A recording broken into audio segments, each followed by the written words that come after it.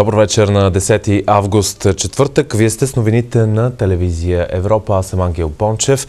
Работници от военния завод Дунарит излязоха на протест в Русе. Те блокираха движението кара и граничния пункт Дунав мост за 15 минути, за да изразят несъгласието си с отнемането на лиценза на дружеството. До това се стигна след като Прокуратурата повдигна обвинение на директора на предприятието, който бе принуден да подаде оставка заедно с цялото ръководство.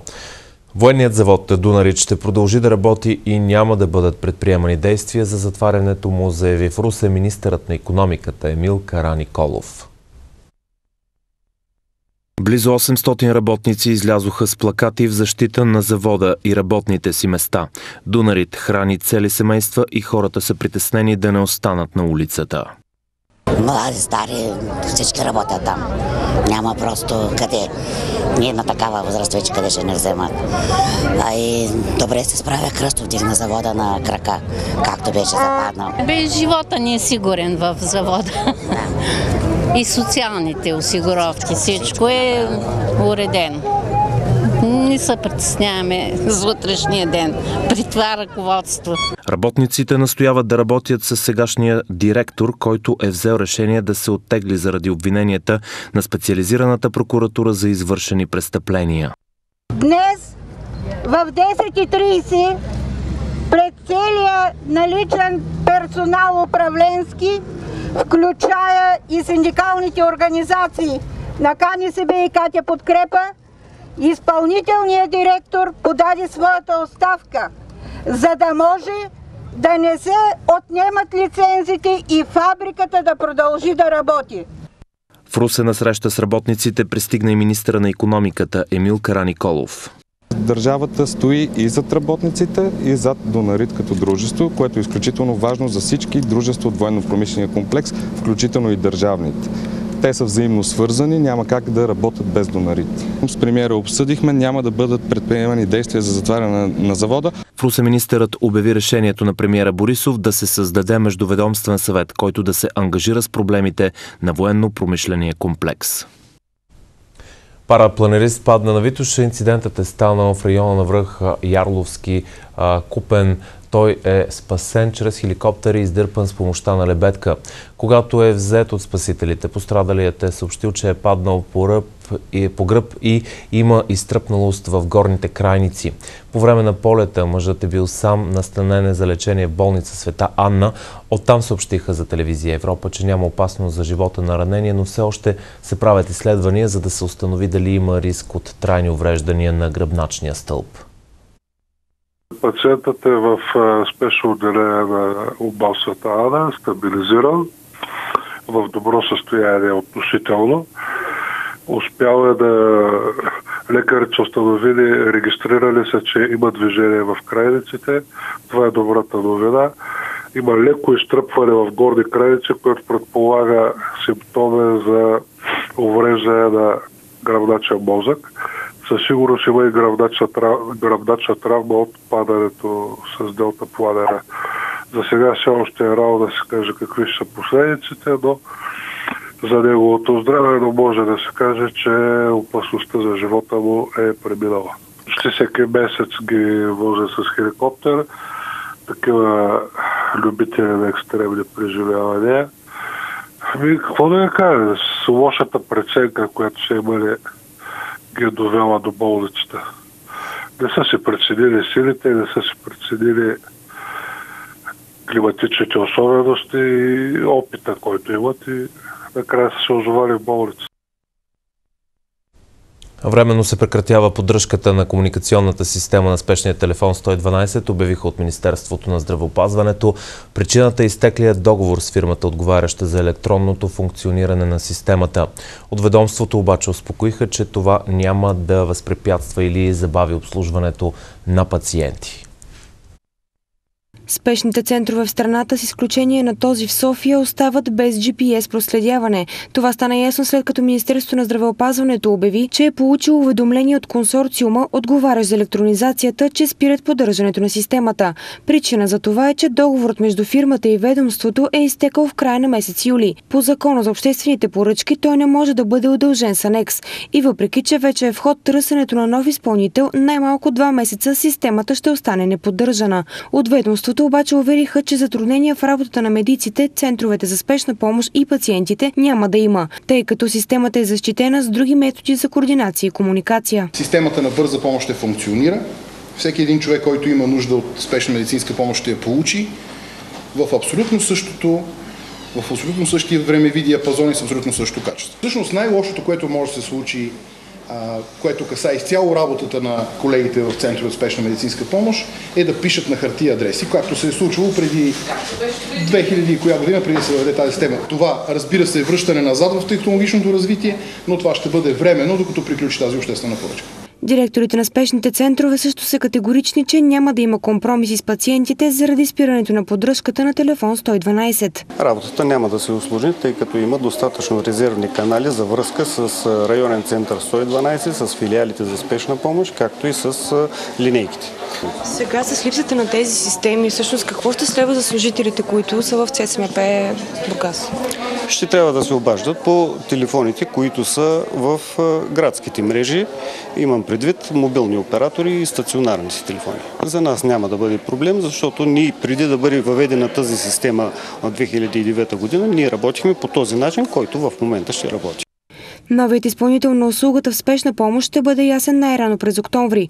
В условията на ведомството за обществената поръчка е тя да включва и осигуряването на паник бутони за всички екипи заради зачастилите случаи на агресия срещу тях. Президентът Румен Радев подписа указа за обнародване на последните промени в закона за съдебната власт. От предварителната информация на сайта на Държавен вестник се вижда, че промените ще бъдат обнародвани в утрешния брой на Държавен вестник. А, така президентът в крайна сметка не се съобрази с исканията на неправителствените организации за налагане на вето на законопроекта. Самите промени предвиждат срок до 30 дни всички магистрати да подадат декларация, в която да посочат всички свои дейности и членства в различни организации и граждански сдружения, включително и тайни. Освен това се разписва възможността членовете на Висшия съдебен съвет и на инспектората към ВСС след приключване на мандата да се върнат не само на същата позиция в съдебната власт, която са заемали преди това, но и на друга равна по ранг. Промените предвиждат също магистратите да бъдат отстранявани от длъжност, не само когато им е повдигнато обвинение за престъпление по длъжност, но и за умишлено престъпление от общ характер. БСП нямат право да искат оставки и да хвърлят обвинения, докато не се разграничат от депутата Манол Генов, обвинен за купуване на ромски гласове в Асеновград. Това заяви на брифинг във Варна депутатът от ГЕРБ Тома Биков. Поводът е публично-частното партньорство между Община Перник и частната компания за ремонта на детската градина в града. В понеделник общинските съветници от БСП в Перник поискаха оставките на председателя на групата на ГЕРБ Румяна Гьорева и на кмета Вяра Церовска. От БСП твърдят, че частното детско заведение е било свързано с фирма на председателя на Общинския съвет. Гьорева обясни, че дарява ремонтираната част от сградата на общината. Това е направено, тъй като Община Перник не е имала средства за ремонт на детските заведения, обясни Биков. Толкова ги е боляло за детската градина, че само трима общински съветника са били в зала, когато се е гласувало това нещо. И това показва техният двоен стандарт и това е трета, третия въпрос, който искам да а, повдигна за пореден път. Когато морализаторстват и казват а, така и се скандализират от толкова големи проблеми, като едното крило на детската градина в Перник, би трябвало да се скандализират и от ситуации в тяхната партия. В БСП съществува все още един депутат, който се казва Манол Генов. И ние няма да спрем да повтаряме това име, докато този човек не, БСП не се разграничи от него и не го изключи от групата си най-малкото. Да не, го, не вярваме, че са в състояние да го а, оттеглят от парламент, така както ние направихме с наши народни представители. Този човек е разговарял с а, затворник, действа затворник в затвора. Ние се запознахме с материалите по делото му. Аз съм, се надявам госпожа Нинова да се е запознала с тези материали, което е много по-сериозно нарушение и много по-сериозен проблем, отколкото а, едното крило на детската градина в Перник. Той е разговарял с този затворник, говорили са за купуване на гласове в циганската макала в Асеновград. И тези хора да излизат и да казват, че се борят с паралелната държава, каквото и да означава това, защото те самите не знаят какво означава, и да живеят в, да, да се опитат да пренесат проблемите на тяхната паралелна реалност върху а, така, цялата държава, ми се струва малко в повече. Лидерите на Германия, Франция, Италия и Испания се събират в Версай в края на този месец, за да обсъдят мигрантската политика и темата за беженците. Инициатор на срещата е бил френският президент Емануел Макрон. Лидерите на четирите водещи економики на еврозоната – Германия, Франция, Италия и Испания – се събират в Версай в края на месеца. Основната тема за разговори ще бъде мигрантската политика на национално и европейско ниво. Инициатор на срещата е бил френският президент Емануел Макрон. Той е изпратил специални покани до канцлера Ангела Меркел и премиерите Пауло Джентилони и Мариано Рахой. Това е първата подобна среща от встъпването в длъжност на Макрон като държавен глава на Франция. В началото на месец март предшественикът му Франсуа Оланд беше домакин на разговорите с Меркел, Джентилони и Рахой. Тогава сценарият, който обедини четирите най-населени държави в Европейския съюз, беше Европа на няколко скорости. На мини срещата на върха в двореца Версай лидерите бяха единодушни, че трябва да се даде възможност на някои страни членки да напредват по-бързо от други. Фокусът в края на август ще падне върху съвместните действия, както и тези на национално ниво за справяне с бежанската криза. Само преди дни Испания беше принудена временно да затвори границата си с Марокко при Селта заради нелегалното навлизане на близо 200 африканци на нейна територия. Френският лидер Емануел Макрон вече заговори за създаването на горещи точки на територията на Либия. Целта е да бъдат проверявани всички мигранти и да се спират онези, които не отговарят на критериите за убежище. Италианският премьер Пауло Джентилони също се очаква да заеме по-твърда позиция по темата, като се има предвид огромните проблеми, които Рим изпитва с наплива от Средиземно море. С интерес се очаква каква позиция ще заеме канцлерът Меркел, която се намира в предизборна кампания, а темата за бежанците е особено чувствителна за нея.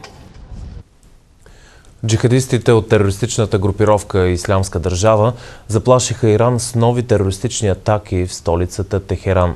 Чрез видеозапис, разпространен от информационната агенция АМАК, младите иранци са призовани да се вдигнат на джихад в своята родина, предава агенция Reuters. В специално заснето видео терористите от групировката Ислямска държава заплашиха Иран с нови атентати, предаде Reuters. В записа мъж с черна скьорска маска и автомат Калашников отправя заплахата седнал до двама други мъже. По същия начин, по който прерязваме гърлата на вашите кучета в Ирак и Сирия, ще прережем и вашите в центъра на Техеран. Това се казва на персийски с акцент. На кадрите се вижда логото на информационната агенция на терористите АМАК. На видеото са показани кадри и от двете атаки в иранската столица Техеран, станали на 7 юни. Отговорност за тях по именно Ислямска държава. При тези нападения бяха убити най-малко 18 души. В отговор Иран изстреля няколко ракети по бази на джихадистите в Сирия. Агенция Reuters отбелязва, че сунитската джихадистка групировка смята шиитски Иран за един от най-големите си врагове в Близкия изток. Това не е първото подобно обращение на ислямска държава към Иран. В края на миналия месец терористите публикуваха видео в интернет, в което заплашват, че ще дестабилизират Иран чрез извършването на терористични атаки. Видеото показва младо момче във военна униформа, което гледа директно срещу камерата и заплашва режима на персийски. Центърът за градска мобилност вече приема документи за издаването на винетни стикери за столичани, които искат да паркират в новите участъци на зелената зона в районите Средец и Лозенец. Цената на винетния стикер за зелената зона е 100 лева на година или 10 лева на месец за един автомобил. За втори автомобил за домакинство сумата е в двоен размер, а за трети следващ в троен. Жителите на кварталите Средец и Лозенец, чието имоти попадат в новия обхват на зелената зона, която влиза в сила от 1 октомври, вече могат да закупят винетен стикер за паркиране. Цената му е 10 лева на месец или 100 лева за година. Условието е обаче да се представи документ за собственост или договор за найем на имот, който се използва само единствено за жилищни цели. Ако автомобилът не е собствен, а се управлява по друго право, то се предоставя документ, удостоверяващ това право. Цената за стикер за втори автомобил става двойна, а за всеки следващ сумата е 300 лева за година. Адресна регистрация. Той трябва да бъде, да бъде като постоянна, постоянен жител на, на този адрес, след това да се покаже или договор за найем, или договор за собственост. А, така че това са, но пак съветвам и вашите зрители, като дори за да спечелят те дори самите те малко време, могат да проверят абсолютно всички документи, които са нужни на сайта на Центъра за градска мобилност. А, също и да си изтеглят самите формуляри, да си ги спокойствието на техния дом да си ги попълнят и да минат само през нашия пункт, да ги, просто да ги входират и, и да си получат след това винетни стикер. А пък ако искат, те могат това, цялата тази процедура да направят и онлайн. Стикерите могат да се платят в дружеството или по банков път. Освен това се разкриват изнесени гишета, в които също могат да се купят. Единият се намира на метростанция Европейски съюз, това е до хотел Хемус, а другата е на метростанция НДК в пункта за продажба на превозни документи на Центъра за градска мобилност. Така че ако отидат там, с, могат да подадат заявление а, и, и да си получат винетния стикер. Новите места за паркиране в двата района са 4500. Екипите на Центъра за градска мобилност вече маркират местата за паркиране, поставят антипаркинг колчета и знаци. От 1 октомври по решение на столичния общински съвет се променя и работното време на зоните. 8.30 до 19.30 в делничните дни. Днес Министерството на културата подписа договор, чрез който по оперативна програма Добро управление ще бъде изграден информационен регистр за недвижимото културно наследство. Новината съобщи заместник министърът на културата Амелия Гешева на кръгла маса в Созопол. Тя добави, че освен изграждането на информационната система в рамките на проекта, целият наличен архив на националното и световното културно наследство ще бъде дигитализиран. Когато стане дума за културно-историческо наследство, най-често въпросите са свързани или с финансиране, или с правилата за управление и опазване. Създаването на информационен регистр и дигитализирането на архива е добра новина за всички, които работят в тази сфера и е от изключително значение за развитието на културно-историческия туризъм в страната. Това ще доведе до създаване на по-добро качество на обслужване на туристите и до по-добро популяризиране на културното наследство и до използването на нови съвременни технологии, които ще могат а, да привлекат интереса а, на посетители, не само на чужди туристи, а и на български. В пряката дейност на Министерството на туризма, освен доброто управление, поставяме акценти върху популяризирането на българското културно наследство, заяви министър Николина Ангелкова. С създаването на Министерството на туризма именно заложихме върху културно-историческия туризъм, като двигател на растежа първо в голяма част от общините и второ като ключов за това да можем да преодолем сезонността и сезонния характер на нашия туризъм и да бъде тази добавена стойност към основните зимени летен туристически продукт, които именно да позиционират страната ни на едно друго място в скалата туристически дестинации. Дискусията за развитието на културно-историческия туризъм не случайно се проведе в Созопол. Именно на близкия остров Свети Иван преди няколко години екипът на професор Казимир Поп Константинов откри останки от Свети Йоан Кръстител. Находката донесе изключителна известност на България по целия свят. Освен, че на него се откри ха мощите на Йоан Кръстител, там имаме един уникален манастир като казвам уникален, той е изцяло под прекия контрол на Вселенската патриархия, на Вселенския патриарх. От игумените на манастира, двама от тях са били Вселенски патриархи. Така че наистина местото е много силно и наистина ние това место трябва да го покажем на света. От срещата стана ясно още, че с оглед бъдещото председателство на България на Европейския съюз, Министерствата на туризма и културата си сътрудничат за създаването на продукт, който да популяризира в чужбина културно-историческото ни наследство. Пари Сен Жермен направи поредния си трансферен удар и договори звездата на Монако Килиан Мбапе за сумата от 180 милиона евро. Лудогорец ще има нов треньор след загубата от Ботев за Суперкупата на България.